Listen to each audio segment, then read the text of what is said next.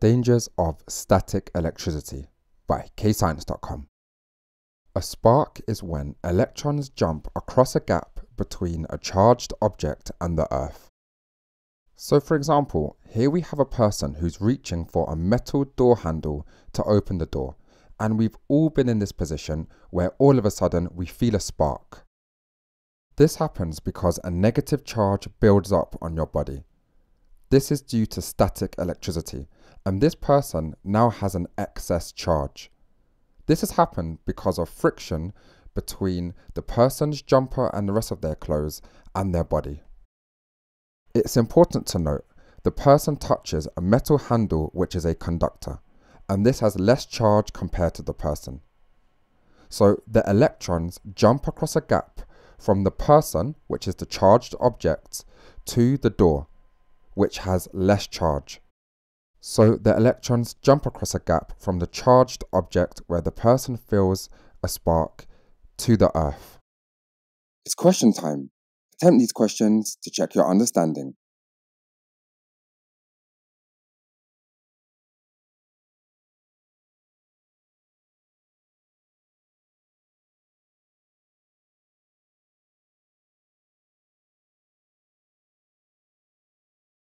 This line represents the ground, and here I'm drawing a cloud.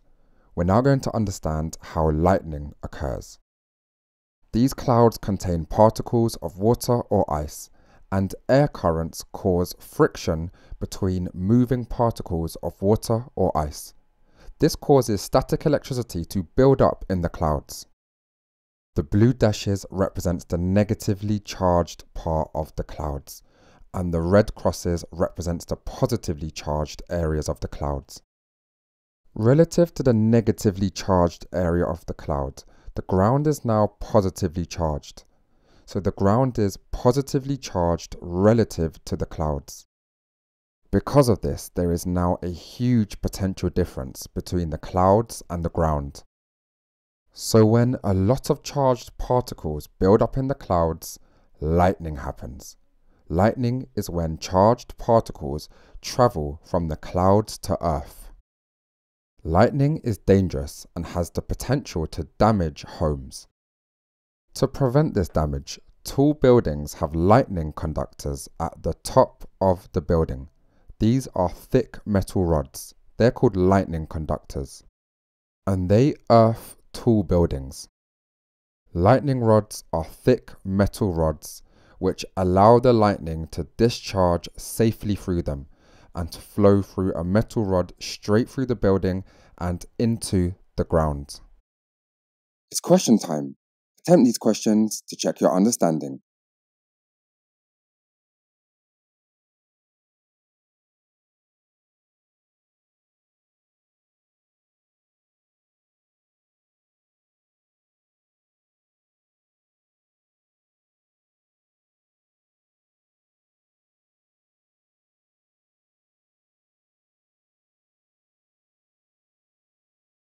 When aircraft are flying through the air, friction between the plane and air particles causes the plane to become charged.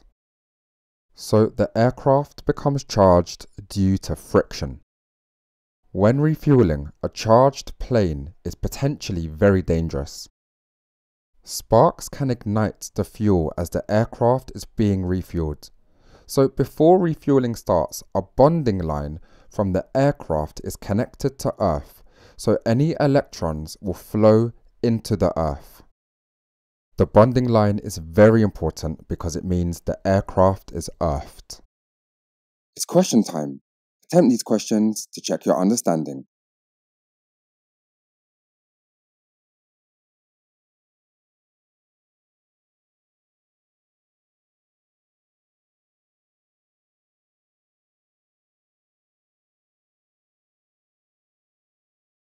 When refueling a vehicle, there's the risk an explosion can happen because of a buildup of static electricity.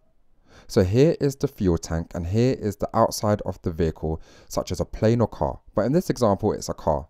So this is the fuel tank in a vehicle.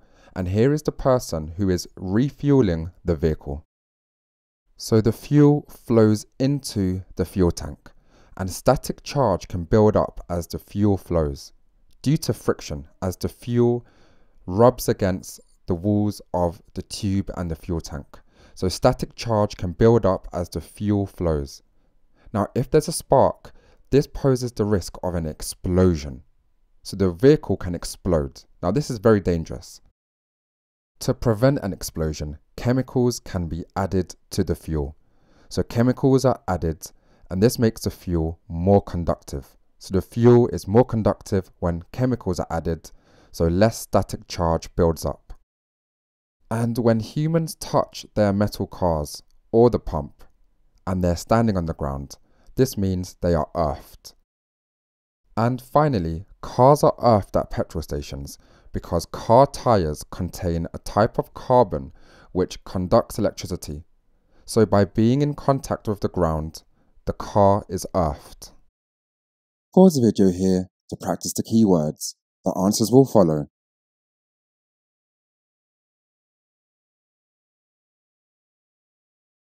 Press pause to answer the questions.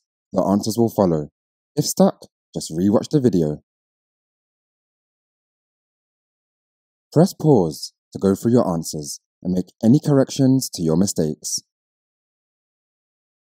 And don't forget to visit kscience.com for more videos, worksheets, and quizzes at kscience.com.